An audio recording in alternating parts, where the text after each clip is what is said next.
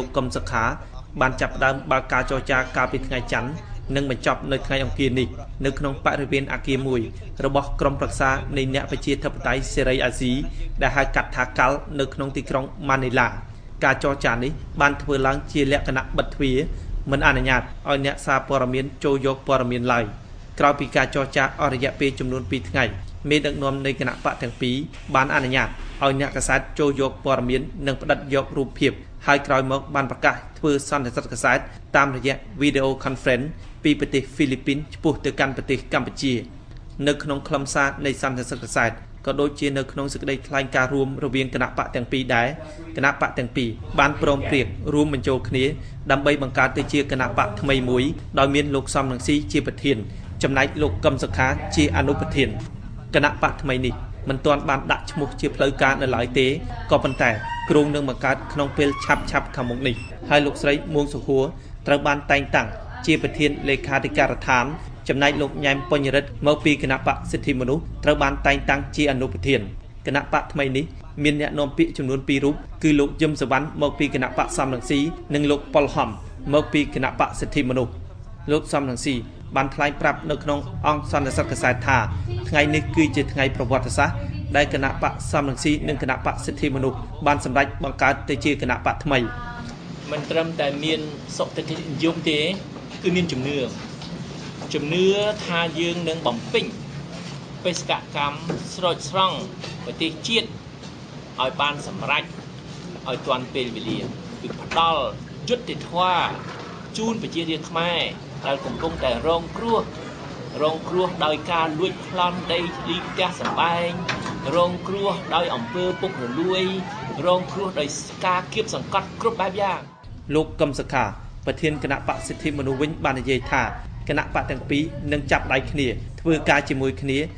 លោកបានបញ្ជាក់ថា យើងនឹងបន្តឲ្យមានកំណែតម្រង់ប្រព័ន្ធបោះឆ្នោតដ៏សាមញ្ញនៅកម្ពុជាក្រោយពីគណៈបកទាំងពីរនេះបានចាប់ផ្ដើមធ្វើការជាមួយគ្នាហើយយើងមានការដឹកនាំមួយដែលមានបែងចែកគណៈកម្មការ3នេះជាលក្ខណៈមួយដែលរឹងមាំ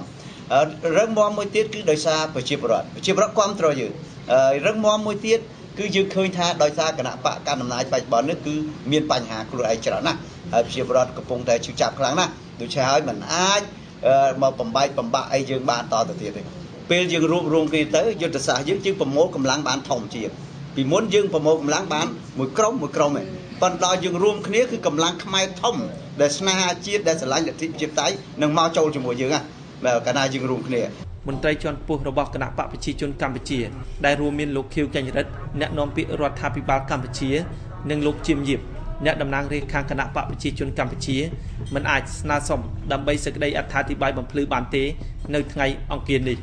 បាទខ្ញុំបាទហេងរស្មីពីទីក្រុងម៉ានីឡាប្រទេសហ្វីលីពីនហើយសូមថ្លែងអំណរគុណលោកសំរងស៊ីប្រធានគណៈបកសំស៊ីនិងលោកកឹមសុខាប្រធានគណៈបកសិទ្ធិមនុស្សបាទថ្ងៃនេះគណៈបកទាំងពីរមានក្រោយពីបានកិច្ចប្រជុំចំនួន2ថ្ងៃ បានសម្រេចព្រមព្រៀងគ្នាបង្កើតទៅជាគណៈបកថ្មីមួយប៉ុន្តែមិនទាន់បានដឹងឈ្មោះនៅឡើយទេបាទជាបឋមសូមជំរាបសួរលោកសំរងស៊ីជំរាបសួរបាទបាទជំរាបសួរលោកកឹមសុខាបាទជំរាបសួរ បាទលោកកឹមសុខាមានហើយនៅលោកសំរងស៊ីមានសុខទិដ្ឋិនិយមយ៉ាងម៉េចក្រោយពីគណៈបកទាំងពីរនេះបានបងសម្រេចថានឹងបង្កើតគណៈបកថ្មីមួយជាដំបូងសូមលោកសំរងស៊ីមុនបាទមិនត្រឹមតែមានសុខទិដ្ឋិនិយមទេគឺមានជំនឿជំនឿថាយើងនឹងបំពេញបេសកកម្មស្រោចស្រង់ប្រទេសជាតិក្នុងគណៈបកឲ្យបានសម្រេច ឲ្យគាត់ពេលការ3នេះជាជាការចាំបាច់យើងអត់មានជំរឿនទេ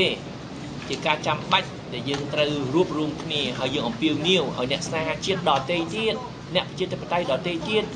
រួបរวมគ្នាជាមួយយើងដើម្បីស្រោចស្រង់ប្រទេសឲ្យទាល់តែបានរៀបចំប្រទេសជាតិយើងឲ្យបានល្អត្រឹមត្រូវផ្ដល់យុត្តិធម៌ជូនប្រជារាស្ត្រខ្មែរដែលកំពុងតែរងគ្រោះ រងគ្រោះដោយការលួចប្លន់ដីធ្លីផ្ទះសម្បែងរងគ្រោះដោយអំពើពុករលួយ រងគ្រោះដោយការគៀបសង្កត់គ្រប់បែបយ៉ាង ហើយបើយើងមិនស្រោចស្រង់ជាតិពេលនេះទេខ្លាចវាហួសពេលពីព្រោះយើងឃើញថាជាតិយើងកំពុងតែស្លាប់បន្តិចម្ដងបន្តិចម្ដងដូច្នេះអត់មានជំរឿទេ យើងត្រូវតែធ្វើហើយយើងធ្វើហើយយើងមានជំនឿថាយើងនឹងសម្រេចបានជោគជ័យជោគជ័យសម្រាប់ប្រទេសជាតិយើងទាំងអស់គ្នា បាទលោកកឹមសុខាមានអីចង់បន្ថែមបាទយើងមានសុតិធិនិយមសុតិធិនិយមត្រង់ថាយើងទាំងអស់គ្នាបានពិចារណាល្អិតល្អន់ណាស់ហើយយើងបានជជែកគ្នាច្បាស់លាស់ណាស់ហើយចេញពីបេះដូងទាំងអស់គ្នាតែម្ដងទី2គឺយើងសុតិធិនិយមត្រង់ថាប្រជាប្រដ្ឋខ្មែរយើងគឺប្រាប់ឲ្យយើងធ្វើអញ្ចឹងហើយបើយើងមិនធ្វើតាមប្រជាប្រដ្ឋទេអាហ្នឹងយើងឃើញថាយើងនឹងមិនគោរពឆន្ទៈប្រជាប្រដ្ឋហើយប្រជាប្រដ្ឋប្រហែលជាអស់សង្ឃឹមលើយើងអញ្ចឹងទាំង ឆន្ទៈរបស់យើងខ្លួនឯងផងឆន្ទៈរបស់ប្រជាប្រដ្ឋបូកគ្នាផងនឹងហើយយើងនឹងអាចបាននៅសេចក្តីសម្រេចតាមបំណងពិតប្រាកដដោយសុតិធិធិនិយមបាទអឺគណៈបកទាំងពីរនឹងបង្កើតថ្មីតើមានមានភាពរឹងមាំប៉ុណ្ណាទេបាទអាចនឹងធ្វើឲ្យប្រជាជនទុកចិត្តប៉ុណ្ណារឿងមមដោយឆន្ទៈរបស់យើងទាំងអស់គ្នាឆន្ទៈរបស់យើងទាំងអស់គ្នាគឺរឹងមាំជាទីបំផុតឆន្ទៈស្រោចស្រង់ប្រទេសជាតិ ឆន្ទៈស្រឡាញ់យុត្តិធម៌ឆន្ទៈការពារផលប្រយោជន៍ប្រជារាស្ត្រខ្មែរដែលយើងមានកិត្តិយសធ្វើជាតំណាងដូច្នេះយើងហ៊ានលះបង់អ្វីអ្វីទាំងអស់ដើម្បីការពារផលប្រយោជន៍រហូតទៅដល់អាយុជីវិតប្រជារាស្ត្រខ្មែរជាកិត្តិយសធំណាស់ហើយថ្ងៃនេះជាថ្ងៃប្រវត្តិសាស្ត្រដែលឆាកនយោបាយប្រទេសកម្ពុជាមានការប្រែប្រួល យ៉ាងធំពីព្រោះចាក់ពីពេលនេះតទៅ គឺមានការតទល់គ្នា រវាងគណៈបកតែពីរគឺមួយទល់នឹងមួយគណៈបកប្រជាជន ជាគណៈបកកុម្មុយនីសផ្ដាច់ការបម្រើបរទេសឈ្លានពានហើយគណៈបកថ្មីរៀបចំដោយគណៈបកសំរងស៊ីនិងគណៈបកសិទ្ធិមនុស្សជាកម្លាំងនយោបាយតែមួយគត់ដែលតំណាងឲ្យជាតិខ្មែរតំណាងឲ្យប្រជារាស្ត្រខ្មែរដែលស្រឡាញ់សេរីភាព និងស្រឡាញ់យុត្តិធម៌បាទលោកកឹមសុខា បាទយើងមានភាពរឹងមាំរឹងមាំត្រង់ថាអឺការព្រមព្រៀងនេះ គឺយើងមានយន្តការមួយបែបប្រជាធិបតេយ្យអឺដូចជាយើងការមានការដឹកនាំមួយដែលដឹកនាំដោយក្រមហើយយើងមានការដឹកនាំមួយដែលមានការឯកច្ឆ័ន្ទការពិគ្រោះយោបល់គ្នាហើយយើងមានការដឹកនាំមួយដែលមានបែងចែកគណៈកម្មការ3នេះជាលក្ខណៈមួយដែលរឹងមាំអឺរឹងមាំមួយទៀតគឺដោយសារប្រជាពលរដ្ឋប្រជាពលរដ្ឋគ្រប់គ្រងយើងកាលណាប្រជាពលរដ្ឋគ្រប់គ្រងយើងខ្លាំងហើយ គឺយើងរឹងមាំហើយរឹងមាំមួយទៀតគឺយើងឃើញថាដោយសារគណៈបកកណ្ដាលអំណាចបច្ចុប្បន្ននេះគឺមានបញ្ហាខ្លួនឯងច្រើនណាស់ហើយប្រជាពលរដ្ឋកំពុងតែជឿចាប់ខ្លាំងណាស់ដូច្នេះហើយมันអាចមកបំបែកបំបាក់អីយើងបានតទៅទៀតទេអឺគណៈបកថ្មីដែលគ្រូនឹងបង្កើតនឹងមានយុទ្ធសាស្ត្រនិងគោលការណ៍អីដែលប្លែកពីគណៈបកសំរងស៊ីហើយនិងគណៈបកសិទ្ធិមនុស្សគឺអ្វីដែលមានជាវិជ្ជមានយើងរក្សា យើងផ្លាស់ប្ដូរតែអ្វីដែលជាអវិជ្ជមានដូច្នេះបងប្អូនណាមានសេចក្តីសុខបងប្អូនណាមានការងារធ្វើត្រឹមត្រូវមន្ត្រីរាជការប៉ូលីសទាហាន អ្នកបម្រើជាតិអ្នកការពារជាតិគឺយើងដឹងគុណណាស់បងប្អូនទាំងអស់ដែលទោះជាក្រជួបការលំបាកយ៉ាងណា នៅតែខិតខំបម្រើជាតិការពារជាតិ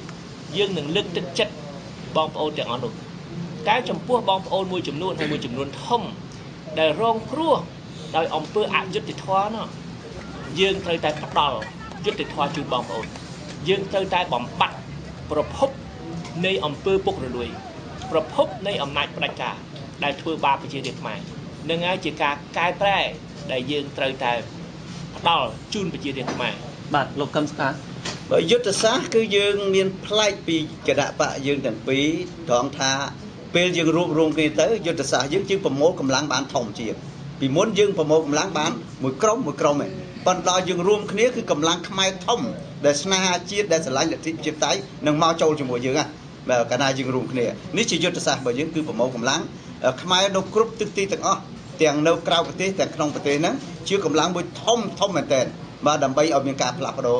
ការដឹកនាំបច្ចុប្បន្ននេះហើយចំពោះគោលការណ៍របស់យើង គោលការណ៍របស់យើងគឺយើងបើកចំហឲ្យមានការចូលរួមទលំទលាយបាទពីពីមហាជនខ្មែរក្នុងការស្រោចស្រង់ប្រទេសជាតិហើយគោលការណ៍របស់យើងយើងនិយាយអ្វីយើងហ៊ានធ្វើណាស់បាទបាទអឺសំណួរចុងក្រោយជំរាបសួរលោកសំរងស៊ីផ្ទាល់តែម្ដងប្រជាពលរដ្ឋខ្មែរទន្ទឹងរង់ចាំដំណឹងនៅពេលដែលលោកបានតើពេលណាលោកនឹងវិលត្រឡប់នៅ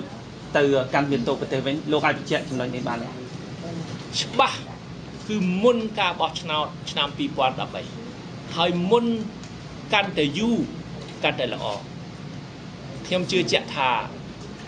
គណៈបកសំរាស៊ីគណៈបកសិទ្ធិមនុស្សចលនាប្រជាធិបតេយ្យសង្គ្រោះជាតិអ្វីដែលយើងនឹងធ្វើរួមជាមួយគ្នានឹងមានប្រសិទ្ធភាពនិងទទួលបានជោគជ័យអ្វីដែលយើងខិតខំទៀមទាដាច់ខាត ទី1គឺការផ្លាស់ប្ដូរកោជបកុំឲ្យមានការលួចបន្លំសន្លឹកឆ្នោត រហូតទៅដល់លួចឈ្មោះលុបឈ្មោះធ្វើឲ្យការបោះឆ្នោតមិនអាចទទួលយកបានហើយរឿងមួយទៀតដែលធ្វើឲ្យការបោះឆ្នោតមិនអាចទទួលយកបានគឺការរៀបរៀងមិនឲ្យប្រធានគណៈបកប្រឆាំងគឺរូបខ្ញុំសំរាស៊ីចូលរួមក្នុងការបោះឆ្នោតខាងមុខសូមអរគុណលោកសំរងស៊ីប្រធានគណៈបកសំរងស៊ីហើយនិងអរគុណផងដែរលោកកឹមសុខាប្រធានគណៈបកសិទ្ធិមនុស្ស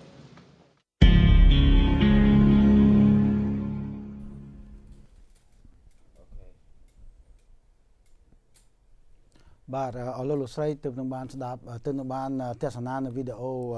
ទៅការចូលរួមពីអំពីគណៈពីគណៈបកសិទ្ធិមនុស្សលោកកឹមសុខានិងគណៈបកសំរងស៊ីគឺលោកសំរងស៊ីផ្ទាល់ដែលលោកអស់លោកលោកស្រីបានឃើញវីដេអូកន្លងមកបាទបន្តនេះខ្ញុំបាទសូមជូនព័ត៌មានដែលខ្ញុំបាទយល់ថាមានសារៈសំខាន់សម្រាប់សហគមន៍យើងហើយគឺជាការដំបូន្មានមួយដែលយើងគួរតែពិចារណាដែរបាទនេះជាព័ត៌មានដែលនៅក្នុងកាសែត Boston Losan នៅក្នុងទីក្រុង Lowell យើងនេះកាលពីថ្ងៃសុក្រខែ7ថ្ងៃទី21ដែលតាក់ទិននឹងឪពុកវាយកូននៅក្នុងផ្ទះមួយបាទខ្ញុំបាទសូមរាយការណ៍នៅជាភាសាខ្មែរដែលបកប្រែចេញពីរបាយការណ៍នៅក្នុង Losan ដូចតទៅបាទអឺមានកូនមួយអាយុ15ឆ្នាំអឺកូនប្រុសដែលបាន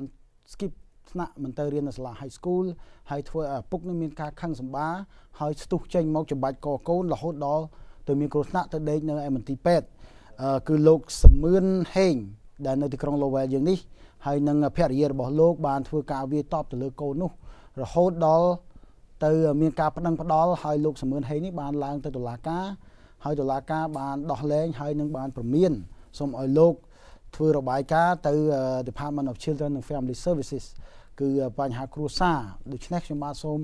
បញ្ជាក់ម្ដងទៀតថាយើងជាខ្មែរក្នុងសហគមន៍នេះ ទីមួយយើងមិនត្រូវធ្វើអំពើហិង្សារវាងឪពុកនិងកូននោះទេទោះបីជា ក្នុងរបាយការណ៍នេះឪពុក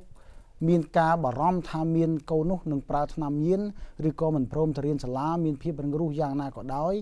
យើងត្រូវឲ្យសមត្ថកិច្ចនៅក្នុងទីក្រុង Lowell នេះជួយធ្វើអន្តរាគមន៍ដូចជាប៉ូលីសដូចជាដើមយើងមិនត្រូវប្រើអំពើហិង្សាទាត់ធាក់ឬច្បាច់កកូនរហូតដល់មានឡើងឡើងតុលាការឡើយដូច្នេះទេបាទខ្ញុំបាទក្នុងនាមជាសមាជិកនៃអឺ ទូទស្សន៍សម្លេងខ្មែរអមេរិកត្រូវការផ្សាយឲ្យបងប្អូននិងញាតិញោមសំទោសបងប្អូននិងអស់លោកលោកស្រីពុកមីទាំងអស់បានដឹងពីព័ត៌មាននេះឲ្យបានជ្រាបទាំងអស់គ្នាបាទអឺដូច្នេះខ្ញុំបាទសូមអរគុណនឹងការយកចិត្តទុកស្ដាប់របស់អស់លោកលោកស្រីជាបន្តទៀតសូមអស់លោកស្រីរងចាំទស្សនានៃការសូត្រកំណៅរបស់អ្នកគ្រូផាណាដូចតទៅបាទសូមអរគុណ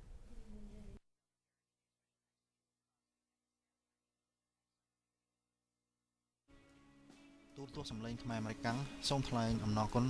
ជាអនេកកម្មការដល់ទូរទស្សនិកជនទាំងអស់ដែលបានគ្រប់គ្រងនិងតាមដាន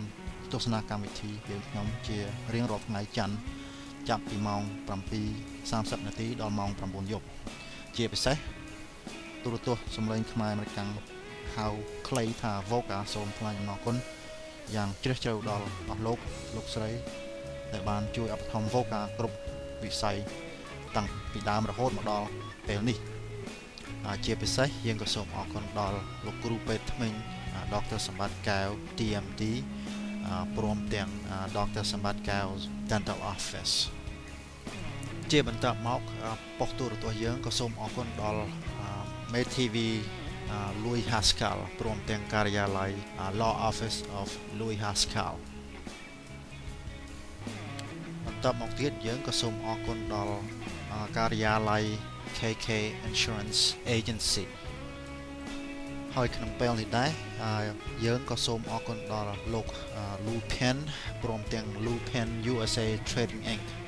គាត់ក៏បានគ្រប់គ្រងប៉ុស្តិ៍ទូរទស្សន៍យើងជាយូរអង្វែងហើយ